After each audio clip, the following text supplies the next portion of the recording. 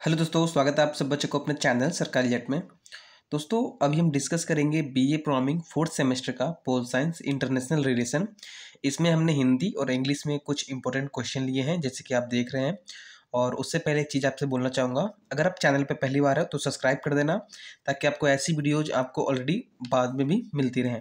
ठीक है? इसमें क्वेश्चन नंबर वन है कि critically discuss the realist approach यानी कि इसको थ्योरी भी आपको आ सकता है रियलिस्ट की थ्योरी ठीक है? मोस्टली थ्योरी पूछते हैं टू इंटरनेशनल रिलेशन जो रियलिस्ट है यानी कि यथार्थवाद तो अंतर्राष्ट्रीय संबंधों में यथार्थवाद उपमागमों का आलोचना वर्णन कीजिए ठीक है? तो यथार्थवाद क्या है? यथार्थवादी क्या है? इनके क्या क्या प्रमुख विशेषताएँ हैं? और इनके क्या क्या जो आ, मतलब कि इनके पार्ट हैं? तीन पार्ट है एस एस एस ठीक है? तो इसको डीप में हम डिस्कस करेंगे। टॉपिक ही है, एक तरीके से देखा था। तो ये टॉपिक है।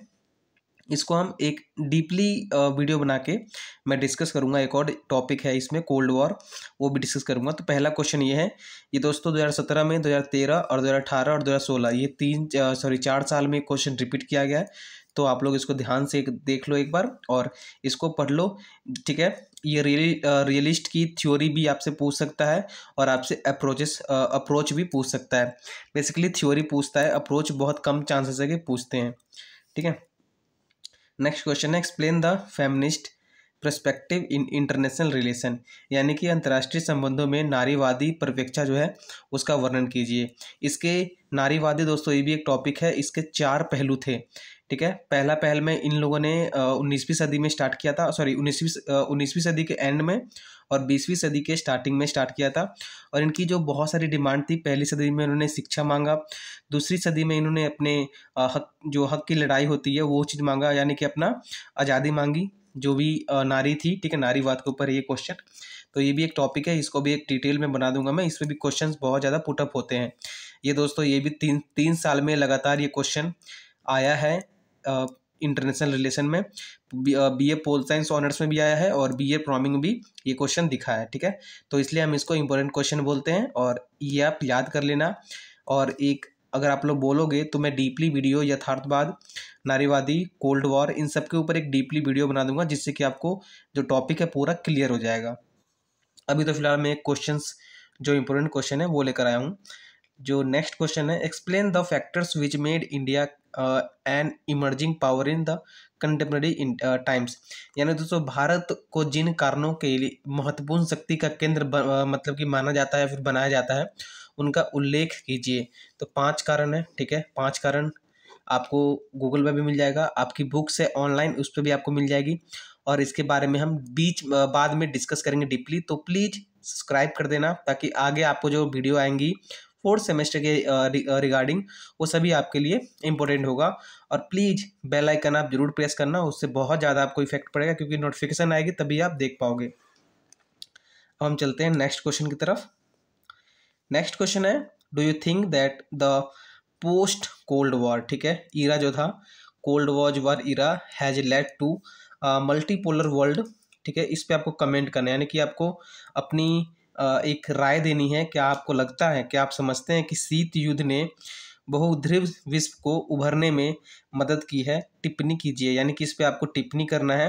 ये क्वेश्चन आपको दोस्तों बहुत ज़्यादा इंपॉर्टेंट है और कोल्ड वॉर ये टॉपिक बहुत ज़्यादा इंपॉर्टेंट है। एक यथार्थवाद और एक शीत युद्ध दोनों बहुत ज़्यादा टॉपिक इंपॉर्टेंट है। तो आप लोग, इसके लिए मैं एक अलग से वीडियो बनाऊँगा ज़रूर, क्योंकि ये टॉपिक क्लियर होना बहुत ज़रूरी है, क्योंकि ये आगे आपको फिफ्थ सेमेस्टर में भी है और आगे आपके सिक्स सेमेस्टर में भी इस पर कुछ टॉपिक्स सेट किया गया है। नेक्स्ट क्वेश्चन चलते हैं। Critically examine the internal and external factors which influence the making India foreign policy यानी कि भारत में विदेश नीति, देखिए, विदेश नीति भी एक टॉपिक है इंटरनेशनल रिलेशन में, और ये जो नीति है दोस्तों, वो सिक्स सेमेस्टर में भी आपको आएगा, और ये आपके ये फिफ्थ सेमेस्टर में भी है। तो दोनों सेमेस्टर में है तो अभी क्लियर करना बहुत ज़रूरी है। तो तीन चार मैंने टॉपिक सोच रखा है, जो कि बहुत ज़्यादा इंपॉर्टेंट है। अभी क्या होता है कि अभी बहुत ज़्यादा नाइट हो रहा है तो मैं इसलिए सिर्फ़ क्वेश्चन ही बना पाया हूँ। कल हो सकता है तो इनके डीपली वीडियो बना के मैं अपलोड कर दूँगा। ठीक है, ये वीडियो कल आएगी। आज रात में बना रहा हूँ मैं तो ये बेसिकली कल आएगी। सेकेंड को नेक्स्ट जो क्वेश्चन है discuss India's role in non aligned movement ये एक मूवमेंट था नन एलाइन इससे क्वेश्चन कम पुटअप होते हैं लेकिन ये क्वेश्चन दोस्तों बहुत बार रिपीट किया है। ठीक है 2018 में 2016 में 2014 में 2013 में, पंद्रह, सोलह, सत्रह, ये तीन, चार साल से बहुत रिपीट कर रहे हैं। तो ये मैंने इसीलिए इस क्वेश्चन को लिया है, क्योंकि तीन साल से रिपीट कर रहा है। और इसमें एक और क्वेश्चन है what is its relevance today, यानी कि आज के टाइम पे इसकी जो भूमिका है, वो क्या है? ठीक है तो गुट निरपेक्ष आंदोलन के उद्भव के विकास में भारत की भूमिका की विवेचना कीजिए। इस आंदोलन की आज क्या प्रासंगिकता है? तो इसकी जो भूमिका है, वो पूछता है और इसकी जो इम्पोर्टेंस है, वो भी इसमें पूछा गया है। ठीक है तो ये आपके छः क्वेश्चन थे। जो कि बहुत ज़्यादा इंपॉर्टेंट क्वेश्चन है। इन छः में से कोई दो क्वेश्चन आपको दोस्तों आ, मतलब कि आएगा।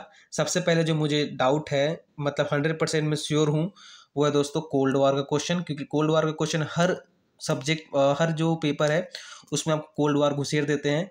पोल साइंस इंटरनेशनल में एक दोस्तों नीति ये जो विदेश नीति है वो और एक दोस्तों ये पहला क्वेश्चन ठीक है, ये तीन क्वेश्चन में मेरे को बहुत ज़्यादा डाउट है कि ये क्वेश्चंस आएँगे ही आएँगे तो प्लीज़ आप लोग इन क्वेश्चंस को ध्यान से पढ़ लेना और प्लीज़ सब्सक्राइब कर देना सरकारी रिज़ल्ट चैनल को ताकि और भी आपके जो आगे है अपडेट आपको मिलते रहें। अब मिलेंगे दोस्तों नेक्स्ट वीडियो में, तब तक के लिए जय हिंद दोस्तों।